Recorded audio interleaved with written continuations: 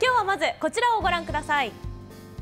はい、えー、プロ野球解説者元カープ選手野村健次郎さん。そしてテレビ派コメンテーターも務めました女子女子 100m ハードラー木村彩子さん。そして広島テレビアナウンサー西名瑞穂さんに気象予報士の塚原美代さん。こちらのメンバーを並べてみたんですが井上さん、はい、この4人に共通すること何だと思いますか？広島県出身のテレビ派ファミリーの皆さん。あ近いです近いです、はい、はい、実はですねこの皆さん広島大学そして大学院の卒業生や在学をしている方たちなんですね。広大ですか。そうなんです。広島大学はこれまでに学部生大学院生そして前身の学校を含めて合わせて25万人以上の卒業生を送り出してきました前進行で最も古く創立された白島学校の歴史と合わせて150年となることを記念して先週末には記念式典が行われたんです。150周年を祝うために卒業生らによるトークショーや記念コンサートが行われました。岸田文雄前総理大臣も登壇し関係者や学生たちに向けてお祝いの言葉を述べました。広島にある国立大学として100年後も輝き続けられるよう決意を新たにしました。さあ150年の節目を迎えた広島大学なんですが実はまちづくりにも大きく関わっているんです。というわけで今日のあなたにプレゼンテーマはこちらです広島大学と地域大学はどんな風に地域発展をもたらすん？こちらでお伝えしていきたいと思いますさあマリーさんは大学生活どんな風に過ごされていましたか？私大学が遠くて、はい、もう一日で4時間ぐらい電車に帰って通ってました。え、そんなに、えー、行くのに4時往復で4時間？往復です。2時間か。2時間ずつ。地元からパリの大学まで通ってました。かなりじゃ通学時間が思い出に残っている。なんと一番の思い出は通学時間。でそうですか。いろんな大学生活があったかと思いますが、今日はまず広島大学の歴史から見ていきたいと思います。広島大学はもともとあった9つの全進校が1つになって1949年に開学した県内で唯一の国立大学です。戦後の広島で国立大学を設立するために県の内外から寄付を募って誕生しました。まさに地域に支えられてできた大学なんですね。で広島大学のキャンパスなんですが森さんどちらにあるか知ってますか？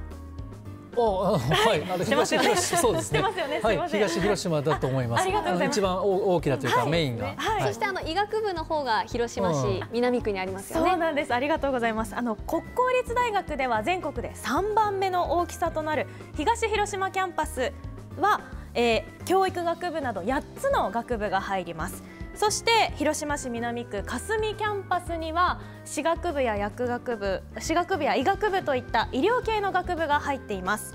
現在およそ1万人の学生が学ぶ広島大学なんですがまちづくりにも大きく関係しています。メインキャンパスがある東広島市に関して見ていきましょう。こちらは東広島市の人口を表したグラフなんですが広島市からのキャンパスの移転東広島市へ移転が決まった1970年代東広島市の人口およそ10万人だったんですが現在2020年の時点ではおよそ20万人と倍に増えているんですね。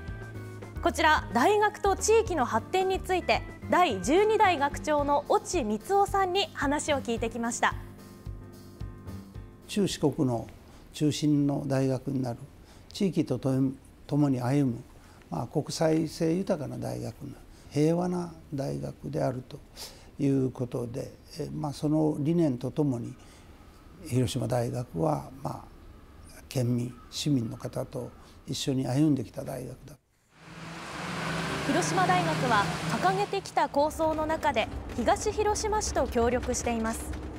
JR 西条駅と大学を結ぶ自動運転バスの実証実験を行うなど地域の発展を目指しています。大学が持ってる、まあ、シーズ種ですね。で、えー、まああの行政が持ってる行政のシーズをうまく組み合わせながらですね、えー、スマートシティカーボンニュートラルの街というのを目指していこうということで一緒に取り組んでいます。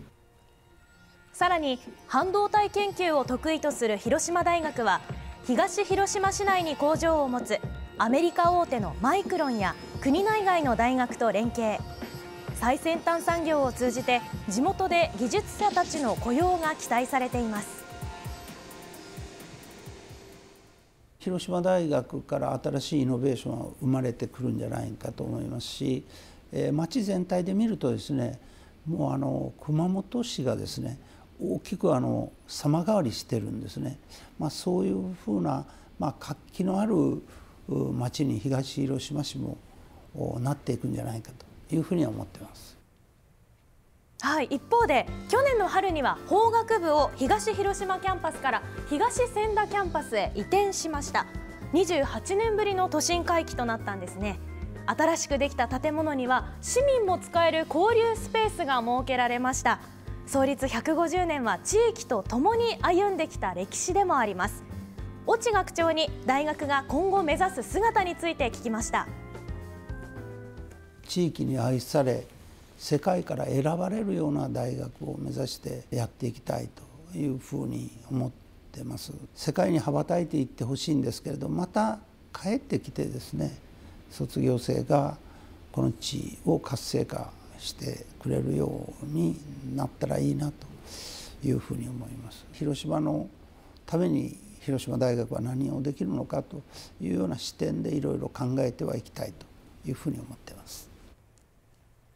このように大学とは人材の育成だけではなくて地域の発展を担う重要な役割を果たしているということが伝わったかと思います。今後も広島が誇る広島大学とそのまちづくりに注目していきたいと思います。以上あなたにプレゼンでした。